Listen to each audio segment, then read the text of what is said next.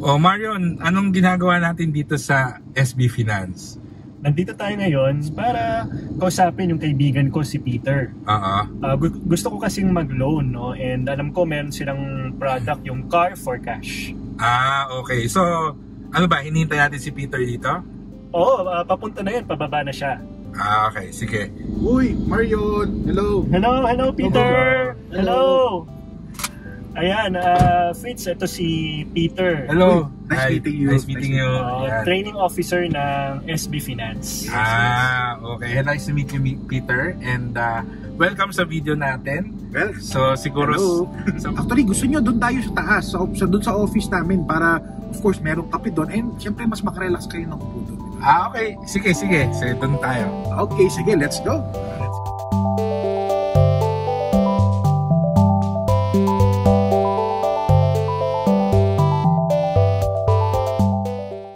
Fitz, Marion, dito tayo. Have a seat.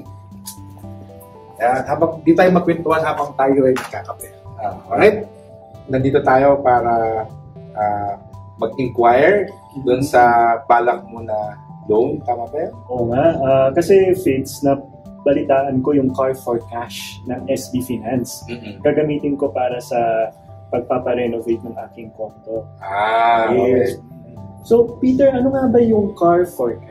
Ah, yung car for cash. Actually, ah, saktong-sakto yan para dun sa binabalak mo na renovation ng iyong condo. So yung car for cash, actually, it's a it's a loan. Loan na pwede natin, may- yung proceeds ng loan, pwede na makuha. Pero yung magagamit natin yung collateral dito is yung ORCR ng inyong kotse. So Mm. meaning, ko-collect namin yung ORCR, pero yung kotse mag stay sa'yo. Meaning, pwede mo pa rin siyang magamit.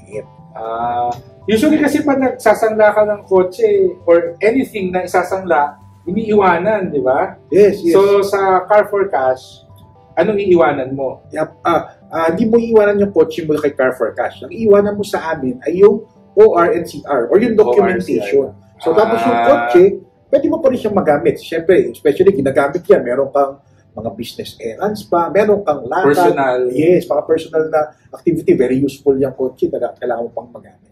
Alright? Kung kailangan ko ng cash, Yep. instead na mag-apply ako ng personal loan, so ang car for cash is another option para Yes. makakuha ng pera. No? So usually ba yung mga nag-apply ng car for cash, ano yung mga nagiging purpose nila for applying? Ah, yung mga nagiging purpose ng mga kliyente natin na, na nag-a-apply ng car for cash. Para may, iba't iba. Meron silang, yung iba, pa, ah, pang tuition ng mga kanilang mga kids. Oo. Yung others naman, pang ano, pang dagdag puhunan sa kanilang mga negosyo. Yung iba naman, pambayad, pambayad din ng ano, pam, pambayad, di ba? Pambayad ng mga, gaya nung kay Marian kanina, Pang-renovate. pang-renovate, pang-renovate ng ano, ng, ng bahay nila, ng condominium. Yung iba nga ginagawa, ah, pinapasok sa car for cash yung kotse nila, tapos ipapaayos pa nila yung kotse nila para makabili ng mga parts. Ganun ang ginagawa. Ah, Yes. Okay. Anong mga advantage ng Car for Cash kumpara sa ibang personal loan? Yes. Kasi sanay ako na makarinig ng personal loan pag katulad ng ganyan, papagawa ng bahay. Anong kagandahan ng Car for Cash? Mm.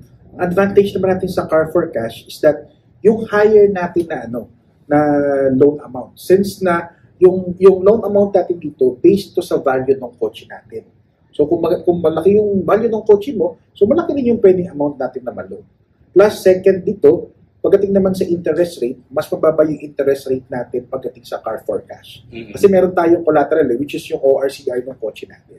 So yun yung advantage niya over a regular personal loan.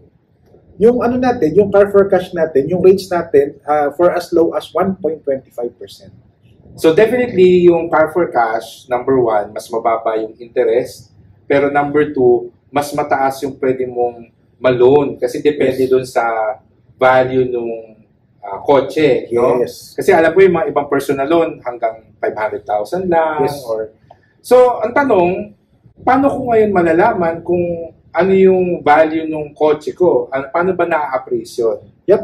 So once na tayo ay nag-apply ng car for cash, so magkakaroon tayo ng ano ng appraisal. So part yun ng ating proseso dun sa application ng car for cash. So sa appraisal, meron tayong authorized na personnel ni SB Finance na i-inspect po yung ating ano, yung ating sasakyan. So check nila yung condition nito, condition, yung, yung of course, yung year model, yung odometer niya, yung mi- mileage, sine-check din po yan. Then, uh, lahat po ng ano na pwedeng maging condition ng, ano, ng kotse. Plus, right after ng checking, magkakaroon tayo ng ano, valuation or yung valuation na sinasabi natin, ito yung kinocompute natin, ano ba yung value ng kotse natin. So, ganun lang, ganun lang yung valuation in general. So, once na nakuha na natin yung value ng sasakyan natin at its present condition, ano siya, uh, ang pwede natin makuha doon is maximum of 80% ng value ng appraised value ng ating kotse. Yun yung pwede nating maluon. Ah, so kung ang appraised value is 1 million, so pwede kang mag-loan ng up to an 800,000. Yes, tama? correct. 80%. Ah, okay. Mer- meron kasi akong dalawang sasakyan, Peter. Yung isa, hinuhulugan ko pa sa Yep. bangko kasi nag-auto loan ako. Yep. Yung isa, fully paid. Fully paid na. Pwede ko bang ilagay sa car for cash yung parehong sasakyan na yun? Ah, oo. Actually, yung first question mo, um, for, for the dun sa hindi pa fully paid na kotse natin, um, hindi siya pwedeng ipasok for car for cash. Kasi kailangan, ang requirement natin sa ano sa car for cash is ah, dapat ano na siya, ah, fully paid or dapat kasi pag hinulungan pa siya, usually encumbered yan. Encumbered. Yes, yes, yes. So ngayon, pag encumbered siya, hindi pa hindi siya pwedeng ipasok for car for cash. Yun yung nasa ORCR natin. So yung encumbrance naman, for the for the knowledge of everyone, ito yung part, type na nakakommit kasi yung ano, yung OR or CR mo dun sa ano, sa finance. Usually it's sa mga financing company like Banco or and others na ano na nasa business ng financing. Ah, yung tanong ni Marion, dalawa yung kotse niya. What if parang fully paid yung sasakyan? Pares na fully paid. Oo, pwede bang dalawang kotse yung ipasok? So for now po, ah, hindi, hindi pa siya pwede. Kasi right now, ah, one at a time lang yung pwede at- natin okay. pasok ngayon for car for cash. Due to system limitations na natin. Pero kung yung isang kotse sa asawa mo, yung isa sa'yo, parang, ipa, parang pwede ipasok yun kasi magkaibang pangalan naman. Yes, pwede yun. Ah. para dalawa kayo mag-a-apply ng loan for car for cash. Ah, okay. Alam ko, Sir Fitz, meron kang uh, kamag-anak na nagka-grab. Oo. Eh, yung kunwaring sasakyan, ginagamit, kotse, ginagamit pang grab. Oo. Pwede ba yun ipasok sa car for cash? Since hindi nyo naman kukunin yung sasakyan, so pwede pa rin yung ipasada. So, right now, hindi pa siya, hindi siya pwede yung ano natin, yung mga ah, public utility vehicles. Okay. Kasi ang ang requirement natin for car for cash is kailangan pas- passenger type siya. So usually ano dapat to private plus dapat uh, ginagamit siya usually po for ano. So ang pwedeng ipasok lang is yung for private use, hindi Yes. yung pinampapasada or Yes, correct. ginagamit na. And does it follow na paano yung mga jeep, yung mga Yes, tricycle, hindi pwede. Hindi rin siya pwede. Ah, kahit motor, hindi pwede. Hindi rin siya pwede. Ah, may mga motor na mas mahal pa sa kotse. yes, correct ka dyan. Correct ka dyan. Ano talaga. Hindi pwede yun. Hindi rin siya pwede for Ah, basta kotse lang. kotse lang. Correct. Oo. So, pa- paano ko malalaman kung anong klaseng mga kotse yung pwede? Yup. I, I think sa website nyo merong Yes. Ano? So doon sa website natin sa www.sbfinance.com.ph Pagpasok po natin sa Car for Cash, nandun po yung mga frequently asked questions or FAQ. Then after po doon, makikita po natin yung ating mga eligible na cars na pwede natin ipasok for Car for Cash. Yung car for cash, of course, very obvious yung car, no? Pero meron din kasi tayo yung pickup truck o Yes. yung truck na katulad yung ginagamit sa hardware. Ayan. Kung kunwari may hardware ako, meron akong pickup truck or truck, magagamit ko ba yun? Naipapasok ko rin ba yung mga ganun sa sasakyan? So yung ano, so dalawa yun, di ba? Dalawa sasakyan. Isang pick up, isang pick up na, na ito mo pick up ito for private use. Private use. For private use, di ba? Ginagamit ng may-ari. Plus yung truck, ginagamit ng hardware for delivery. for the business. Yes. Mm. Oh. So yung pick up truck, since the passenger naman siya and being used privately, pwede siya Pwede. yung pick up. Pero yung delivery truck natin for hardware, hindi siya pwede ipasok for car for cash.